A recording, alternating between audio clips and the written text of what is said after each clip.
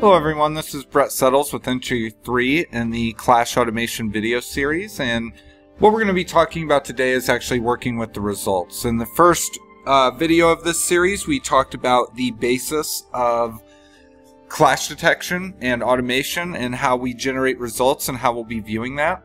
In the second session what we really covered was is how to create those results based on the criteria you see on the right hand side of the interface here and actually generate those results. The sanitary versus structural test is what we did in that video.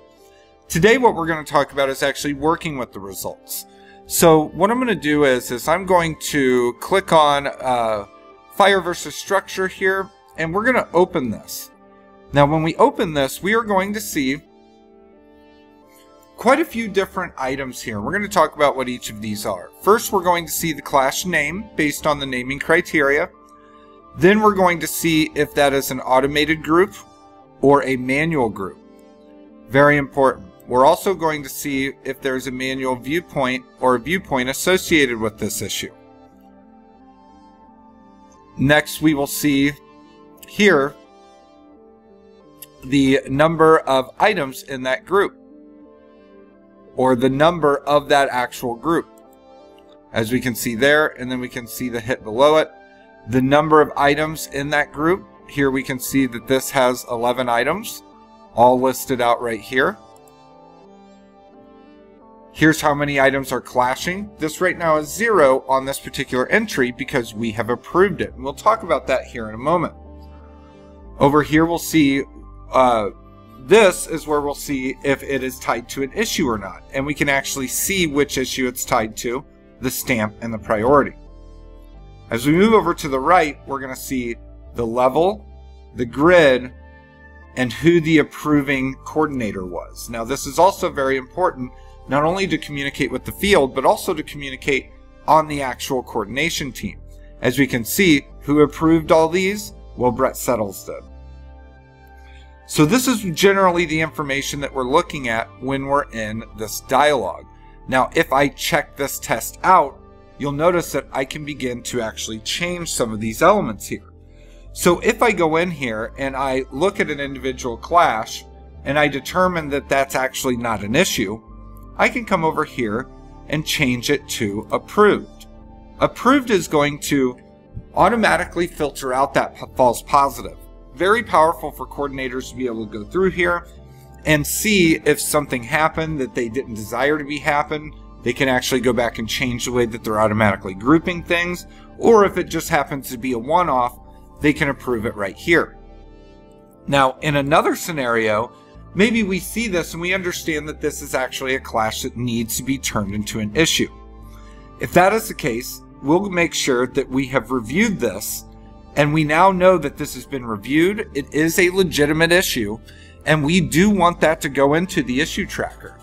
The status of the actual clash plays a big role in how we automate issues, how we regroup clashes, to make it all very beneficial for the user, but make sure that we're not undoing any sort of communication that's already happened out to the field, to the fabrication floor, or to the design partners or the design team.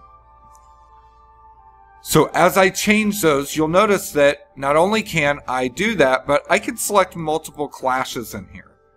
And I can go through and select three groups and view all of those groups at once.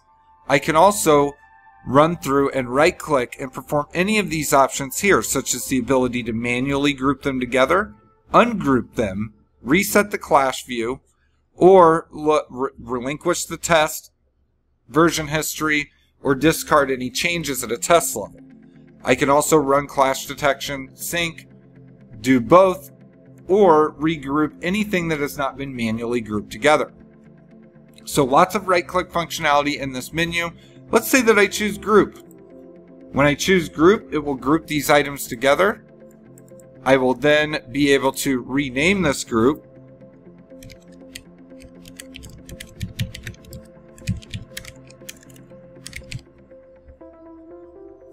And you'll also notice that it is now signified with an M icon. This means that this is a manual group. It will not be subject to automatic regrouping uh, moving forward. So those are some of the ways that we can work with these results in here. Notice that if I select everything, I can see all of the clashes throughout the entire building. Up at the top, this is also a very powerful tool with working with results, as I can filter for objects based on things like level. So we'll go to level 8, and we'll see here are the clashes on level 8. I can individually look at each one of these like this, or I can select all of them, lock my section box, and begin to look around and see everything that's going on on level 8 here. If I don't like the white appearance, I can change to my coordination view. And this is where those appearance profiles from the first session become, uh, become very important to the way that we work with this. So here we can switch through and look at only the mechanical and structure. We can highlight unselected clashes and dim those, or mark those as gray. So lots of different options to look through these various clashes here. And if I want to clear the filter, I can just deselect the filter here, and I'm back on to viewing those individual clashes. Here we can see this. Discursive teaching. I can select that, and I can actually see the clashes that happen in that room. I can turn off my section box, select those again, and actually look at each one individually. And I can notice that they are approved. So, great way to look at these. If I look to relinquish the test, I can simply choose this button right here. In the next entry of this video series, we're going to look into issue automation and how that plays a role in what we're doing with this entire feature set.